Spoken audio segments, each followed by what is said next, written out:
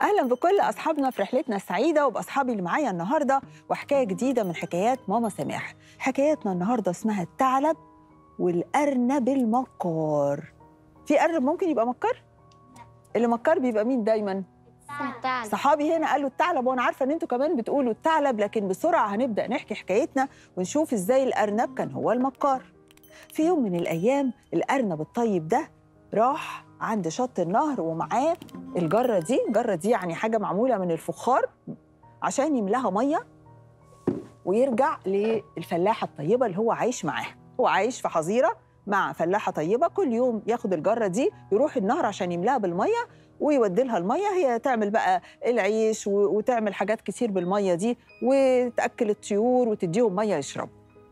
في اليوم ده الأرنب كان ماسك الجرة يا ولاد. وراح عند النهر يملاه الجرة بالمية فجأة لقى كل الحيوانات اللي موجودة بتهرب وبتجري بتجري. مين بقى اللي كان بيقرب منهم؟ الثعلب. الثعلب. كلهم جريوا وهو خاف شوية وجي يجري وقعت منه الجرة دي وحصل لها إيه؟ اتكسرت لما الجرة اتكسرت الأرنب خاف إنه أي حد يدوس على الفخار ده المكسر وممكن رجليه تتعور. فقال إيه؟ ألمه وبعدين ههرب. وهو بيلمه مين اللي قرب منه؟ الثعلب مسكه وقال له مش هتهرب مني يا أرنب. ده أنت أرنب جميل وسمين. أنت النهارده الغدا بتاعي هيبقى وجبة شهية هي الأرنب حضرتك. الأرنب سكت كده وقال له آه طيب حاضر آه ألم بس دول. وبسرعة الأرنب راح نازل ولف جسمه الفروة بتاعته دي كلها بقى لونها بني. إحنا عارفين النهر بيبقى جنب المية أرض لونها إيه؟ بني اللي هو الطمي أو الطين. الفروة بتاعته كلها بقى لونها بني. الثعلب بيمسكه قال له هتاكلني بس خلي بالك أنا لازم أقول لك حاجة. أنت لو كلتني بطنك هتوجعك قوي قوي قوي قوي طب ليه قال له بقى بطنه هتوجعه؟ عشان هو الفروة بتاعته عاملة إيه؟ نظيفه إحنا ممكن ناكل حاجة وقعت في الأرض؟ ناكلها كده على طول؟ لا طبعا. الثعلب فكر وقال له يعني إيه؟ يعني أنا هعيا؟ قال له جدا. سيبني بقى أنزل النهر استحمى. هيوافق الثعلب إنه يسيبه ينزل النهر؟ آه. هيوافق يسيبه ينزل النهر؟ أيوه. مش ممكن يهرب؟ الثعلب قال له يا سلام! بقى أنا هسيبك كده تنزل النهر. لا أنا هاخدك أحبسك في البيت وأنا اللي هجيب لك المية عشان تستحمى. انت هتضحك عليا ولا إيه؟ ده أنا الثعلب المكار فعلا يا أصحابي الثعلب راح واخد الأرنب وحبسه في البيت بتاعه وجري جري جري عند النهر عشان يجيب إيه للأرنب؟ مية. وقف الثعلب قدام النهر وقال له إيه؟ نهر يا نهر. قال له نعم يا ثعلب. قال له اديني شوية مية. قال له ليه؟ قال له عشان أديها للأرنب يستحمى وبعد ما يستحمى أعمل إيه؟ أكله. النهر افتكر بقى يا أصحابي إن الثعلب ده كان ياكل الطيور. الطيور بيبقى عليها ريش ويرمي الريش في النهر. صح إن إحنا مية النهر أو مية البحر بعد ما ناكل أي حاجة نرمي الورق أو الحاجة اللي مش نظيفه فيها؟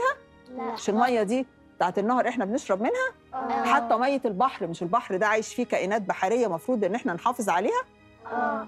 فتفتكروا بقى النهر هيساعد الثعلب؟ لا. النهر فكر شوية قال له إيه؟ طيب بس هتاخد المية في إيه إحنا ممكن نشيل ميه في إيدنا؟ لا. هتقع. قال له يعني إيه؟ قال له روح هات جرة زي اللي كانت مع الأرنب وأنا أديك المية. قال له دي أجيبها منين؟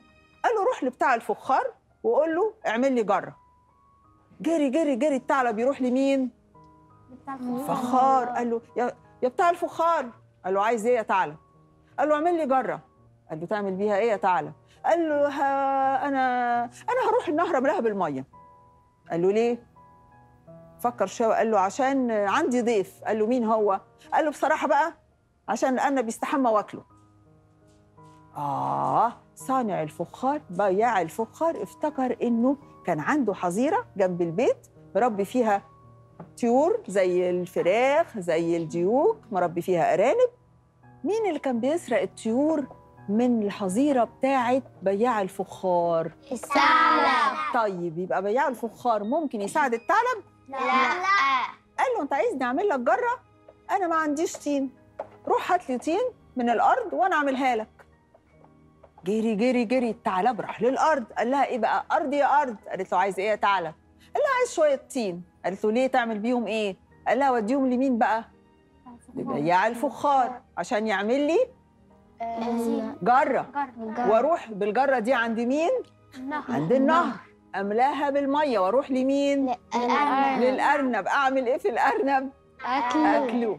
الأرض بقى يا أصحابي افتكرت حاجة كانت مزعلاها جدا من الثعلب معقولة إحنا نخش جنينة فيها ورد جميل أو مكان حتى فيه مزروع فيه خضار أو فاكهة أو أي ثمار ندخل برجلينا وندوس عليها؟ لا. ينفع كده؟ لا. مش النبات ده ربنا خلقه وبيتنفس وليه روح ولازم نحافظ عليه عشان يكبر؟ آه. الثعلب لما كان يجي يجري ورا أرنب أو ورا ديك أو ورا فرخة والديك أو الفرخة أو الأرنب يدخلوا جوه الأرض عشان يهربوا كان يجري وراهم ويدوس برجليه على أي حاجة. تفتكروا الأرض بقى هتبقى مبسوطة من الثعلب؟ لا. هتساعده؟ لا. الأرض فكرت شوية قالت له إيه؟ طيب أنا موافقة بس آه، هتحفر الأرض إزاي؟ قال لها يعني إيه؟ قالت له هتحفرها إزاي؟ لازم يبقى معاك فاس. عارفين شكل الفاس؟ الفاس ده آه. بيمسكه الفلاح بيبقى من الخشب بيبقى فيه حتة حديد عشان يقدر إيه؟ يحفر الأرض ويزرع وينظف الأرض من الحشائش الضارة. قال لها يعني أعمل إيه يعني؟ قالت له روح بقى للحداد. اطلب منه يعمل لك فاس. الحداد ده بياخد الحديد يدخله أفران كبيرة قوي ويشكله بقى. يعمل منه فاس يعمل منه أكرة للباب يعمل باب حديد يعمل حاجات كتير قوي بنشوفها. دلوقتي بقى الثعلب هيروح لمين؟ للحداد. يقول له يعمل له إيه؟ فاس. الفاس حداد يا حداد. قال له عايز إيه يا ثعلب؟ قال له أنا عاوز فاس. قال له ما عنديش فاس. قال له طب اعمل لي فاس. قال له عايز الفاس ليه؟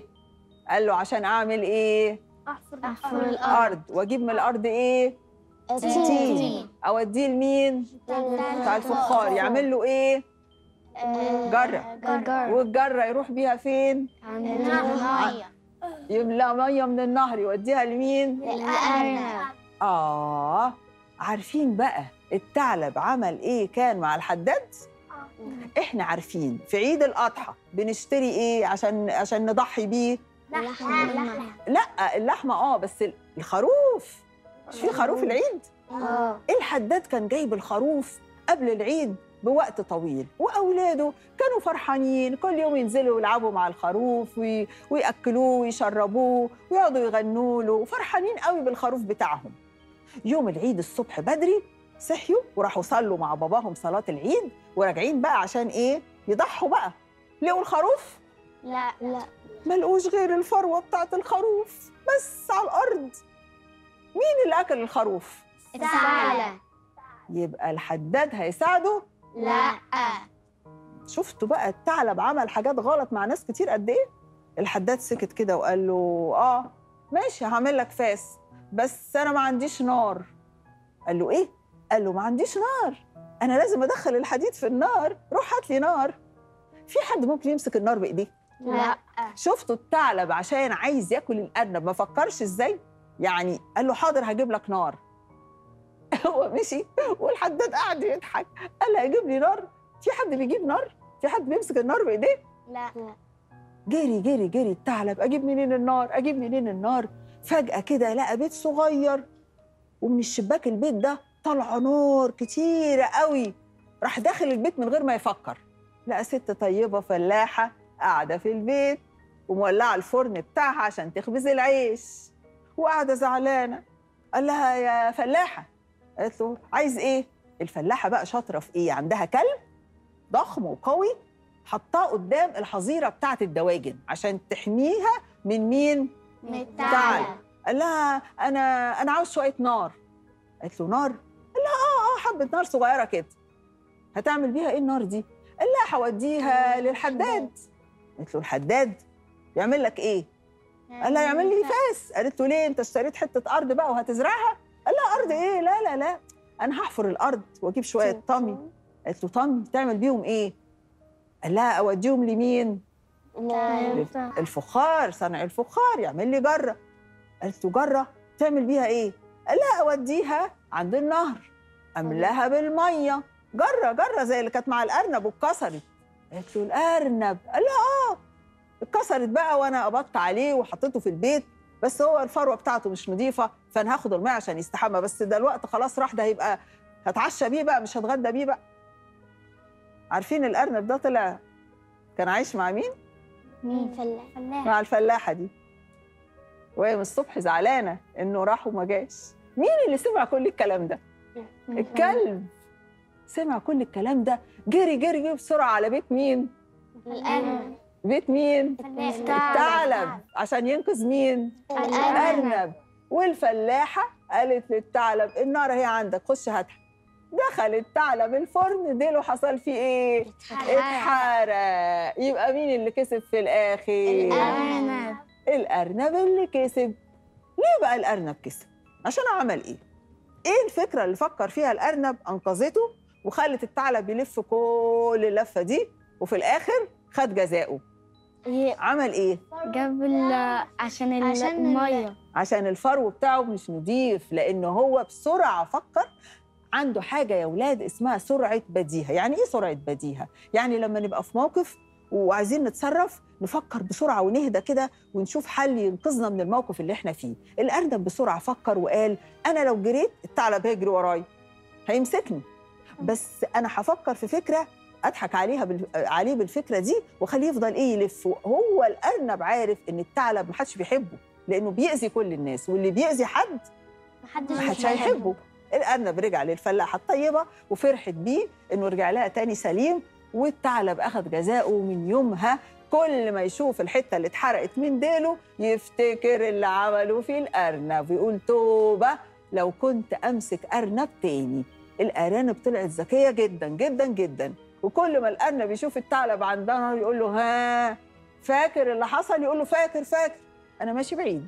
إيه اللي عجبنا بقى في قصتنا النهارده؟ الثعلب والأرنب المكار. إيه اللي عجبنا؟ الأرنب. الأرنب. عجبنا الأرنب ليه؟ علشان, عشان هو, هو- فكر بسرعة وطلع ذكي.